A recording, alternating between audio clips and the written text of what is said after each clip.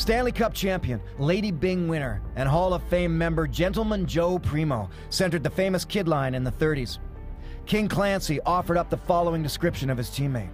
Of course, they don't come any better than Joe Primeau. Joe has every quality necessary to make a true blue citizen.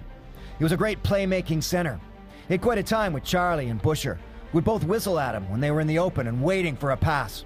It was up to Joe to give the puck to the fellow who had the best chance. I think he was one of the all time greats as far as handling and passing a puck was concerned.